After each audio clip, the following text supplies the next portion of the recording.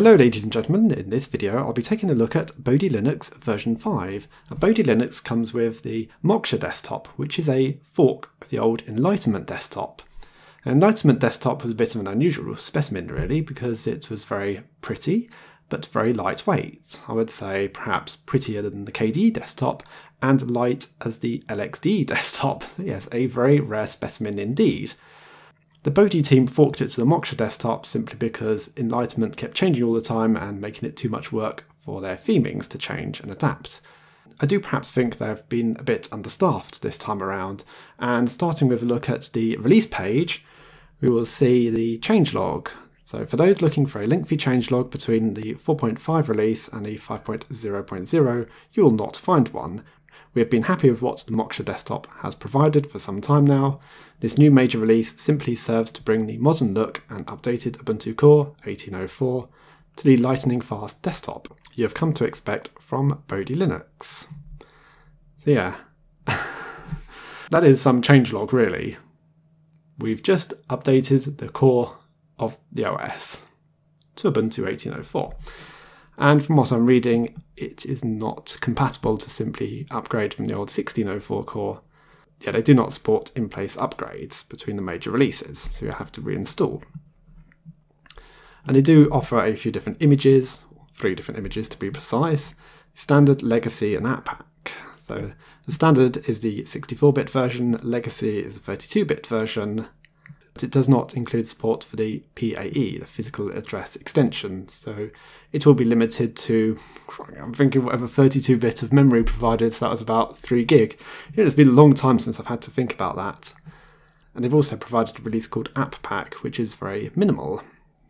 So they're not taking advantage of the minimal installer option in the Ubuntu install. Well, here is Bodhi Linux in all its glory. I have made one little adjustment here that I've swapped the standard application menu for the Everything Starter. The Everything Starter provides a searcher. So I could launch applications from here. Although perhaps it's not fair to launch an application just yet. Well, it's a good thing I didn't actually launch it. So anyway, let's go across the terminal and I'm going to take a look at the memory usage using my favorite command, the free -m command, and we can see that a grand total of 190 meg of RAM is in use at system boot up. well, I wasn't joking when I said it was about as light as the LXDE desktop. In fact, perhaps I was mistaken there in that it is lighter than the LXDE desktop. That is a lower memory usage than Ubuntu. We have the Linux 4.15 kernel. I didn't mean to repeat the uname-a command. I meant to type was lsb release, and we can see that it is based on Ubuntu 18.04, the Bionic Beaver release. The number of options in Bodhi 5 seems very limited compared to what it used to be. I remember all sorts of different options on how to choose a standard layout on a desktop, so you could switch between different look and feel, so like notebook, laptop, standard desktop. That option is missing, but on the other hand, what I am seeing is that it is a lot simpler to use nowadays, can anyone really complain about this standard look and feel for a desktop? You have an application launcher on the bottom left hand side, you've got a task switcher, you've got your shortcuts to common applications, you've got a desktop switcher, time, date, and calendar, shutdown, volume control, and the last items I have in the copy and paste clipboard. Left clicking on desktop brings up an application launcher, split out into various different categories. Looking further at the settings on the Moksha desktop, it came with a few different themes pre-installed, but I added a few additional ones which are available in the repositories that Bodhi Linux have added. Oh, the Moksha Pink, perhaps that's a theme suitable for Miss Quids. Maybe she would enjoy that one. Thinking of one of the very pink looking Linux distributions she reviewed a while back. But let's put it back to something more sensible.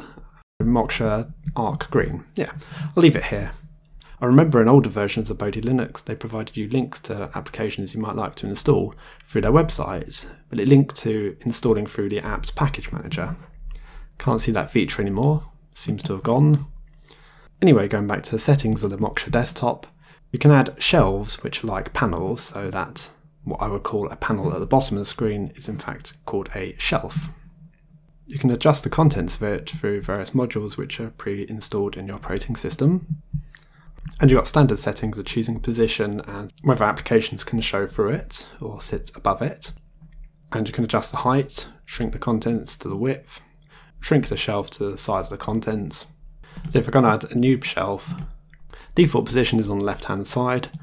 I can add some contents to it as the default application launcher is the start launcher. There you are, that gives you a chance to look at it. So if I don't want the shelf anymore, I can just go and delete it. Yeah, that's it. Uh, modules, it just seems to be standard things, clipboard, clock, um, some other items under system that may be useful, battery if you're a laptop user, and the option to turn desktop icons on or off, and this quick access launcher that was setting up system shortcuts. Yeah, it seems to be quite a flexible desktop for its uh, small memory footprint. And I do like its responsiveness, it is very fast and responsive. But yeah, I would expect that because it is very lightweight. And we're opening up a lightweight browser here of Midori. The number of pre-installed applications is very sparse. I could flick through it on the screen here and yeah, that's it. I don't need to read anything out.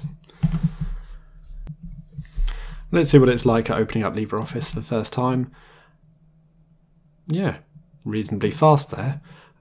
Perhaps it'll be quicker on the second time of opening. Well, I'll go for calc instead.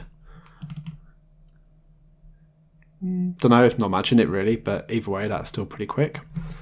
Anyway, let's look at Bodhi Linux version 5.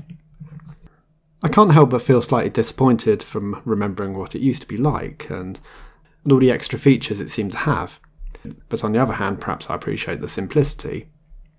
But anyone looking at Bodhi Linux for the first time now wouldn't have any idea of what it used to be like and could perhaps just appreciate it for what it is, in that it is a very lightweight, fast, fancy looking operating system. And in that area, it is pretty much unrivaled. The other fancy looking desktops in Linux, like KDE and Cinnamon, are much more bulkier on memory usage. Anyway, that was a look at Bodhi Linux version 5. Thanks for watching, I'll see you all later.